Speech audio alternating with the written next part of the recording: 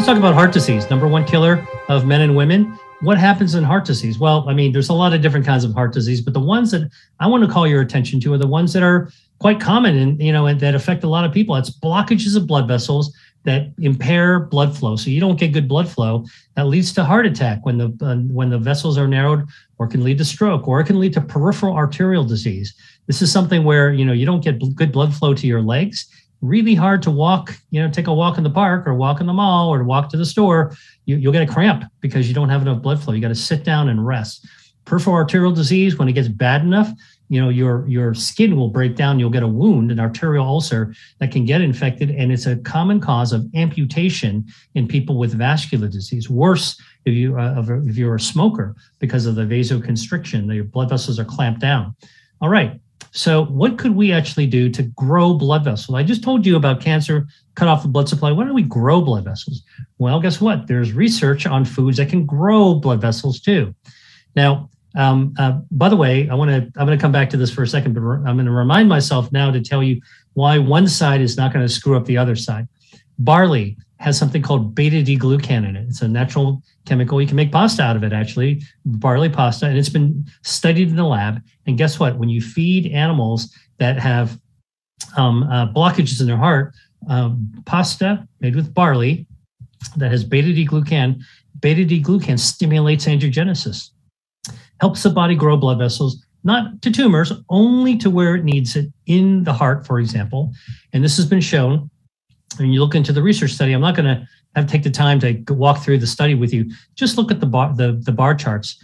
Um, and you can kind of see in the orange circle that black is where the uh, uh, mice uh, who actually had, were suffering from poor blood flow in the heart, when they ate the pasta made with beta glucan, their uh, blood vessels actually got more dense, they grew more blood vessels, uh, and actually they got better blood flow as well. So again, food growing blood vessels. Let me show you another one uh, fruit peel, an apple peel, could be a peel of an apricot or a pear, contains a natural molecule called ursolic acid.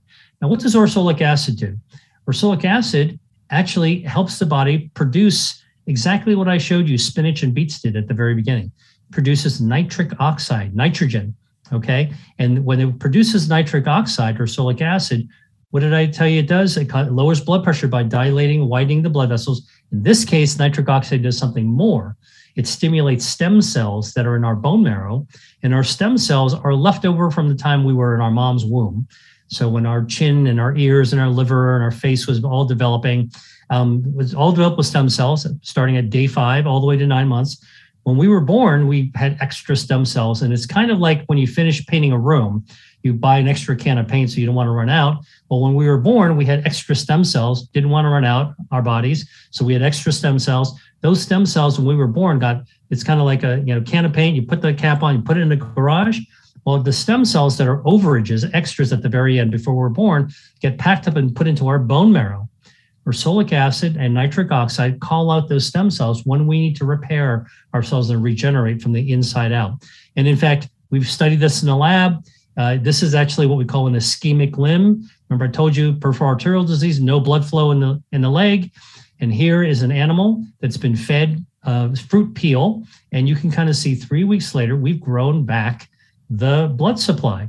All right. Foods as medicine, in this experiment's case, stimu- showing you you can stimulate the revascularization, no bypass, no stent. And this is not in a human. This is in a lab animal. Uh, and, and ursolic acid has also been studied in humans and will do something very similar uh, as well. And these are stem cells that are doing. So these are um, uh, angiogenesis stimulating foods. Um, and I wanted to tell you so if you give a cancer uh, starver, like a, a anti angiogenic food, like a tomato, um, are you going to cut off the blood supply to your leg? Nope. Heart? Nope. Because your body's health defenses can block the effect of foods only to a certain point. So it's kind of like a, a lawn. If you were the, a landscaper, you're responsible for a lawn. You need the perfect layer of grass if it's too high, you'll mow it down. That's anti-angiogenic, cancer-starving food. But if you have a bald patch where you need more blood vessels and you need to put grass seed on to grow the blood vessels up, Um, that's exactly what these angiogenesis stimulating foods do. And if they grow too tall, guess what? Your body will mow down the overage so you won't actually get into trouble. So that's how food, like medicines that I've helped to develop, we can punch through the body's defenses because medicines are they're the blunt instrument. They're like the they're they're taking the cannon out. Foods are kinder, gentler ways to help our body's health defenses work.